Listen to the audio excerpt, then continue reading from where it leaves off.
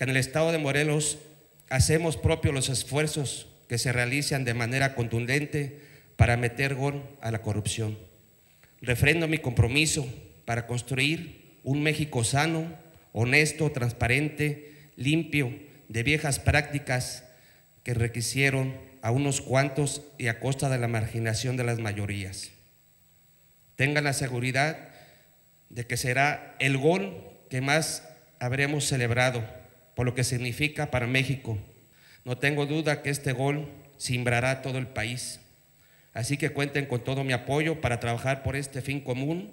Juntos habremos de anular a todo aquel que opere al margen de la ley.